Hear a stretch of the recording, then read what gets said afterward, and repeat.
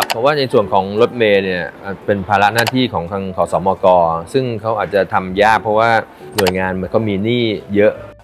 ที่เขาเสนอนโยบายบางครั้ง ผมพูดได้ว่าผมจะลดเหลือ 5 บาท แต่เขาจริงมันมันทำไม่ได้นึกออกไหมฮะผมผมถึงบอกว่า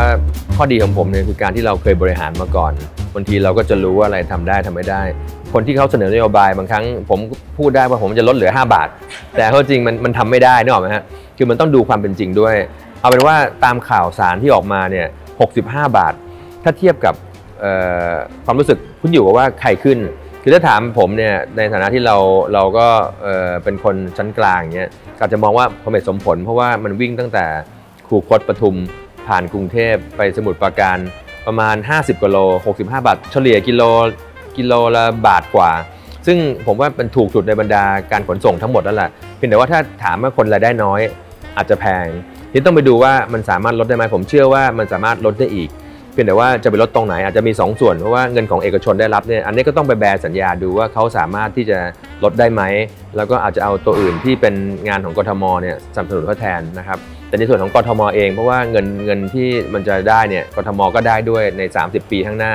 ยกตัวอย่างอาจจะเป็นเงินกลมๆ2แสนล้าน2แสนล้านเนี่ยแบ่งใช้หนี้สักครึ่งหนึ่งเหลือแสนล้านไอ้แสนล้านตัวนั้นเนี่ยผมว่าเอามาสามารถเอามาเอามาซับซิด้หรือว่าช่วยประชาชนให้มันถูกลงได้ แต่ต้องไปดูว่าถูกลงได้เท่าไหร่ เพราะว่าไอ้เงิน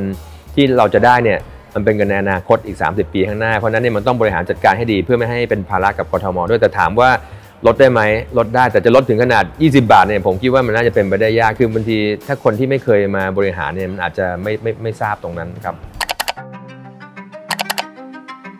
ครับเพราะว่าในส่วนของรถเมล์เนี่ยเป็นภาระหน้าที่ของทางขสมก ซึ่งเขาอาจจะทำยากเพราะว่าหน่วยงานมันก็มีหนี้เยอะนะครับในการพัฒนาอะไรใหม่ๆเนี่ยอาจจะมีติดกรอบข้อจำกัด แต่ถ้าเป็นผมในฐานะกทมเนี่ยเราจะสามารถเสริมในส่วนนี้ได้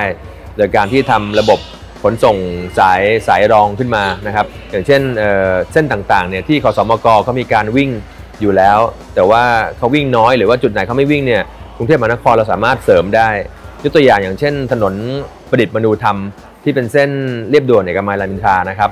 เรามีเขตติดต่อกันประมาณ 6-7 เขต ไม่ว่าจะเป็นวังทองหลางลาดพร้าวบางเขนบางกะปิคันายาวบึงกลุ่ม แต่ว่ารถเมย์วิ่งวันละสายอย่างกรุงเทพมหานครเนี่ยเราสามารถที่จะทำเป็นคล้ายๆรถสายรองเป็นฟีดเดอร์รถบัส EV มาช่วยวิ่งเกี่ยวคนได้ อันนี้คือสิ่งที่กรุงเทพมหานครเราจะช่วยได้ ซึ่งทำทำทั่วทั้ง 50 เขต ตรงไหนที่โซนคนอยู่เยอะรถเมย์ไม่ค่อยวิ่งเนี่ยเราก็จัดไปช่วยครับ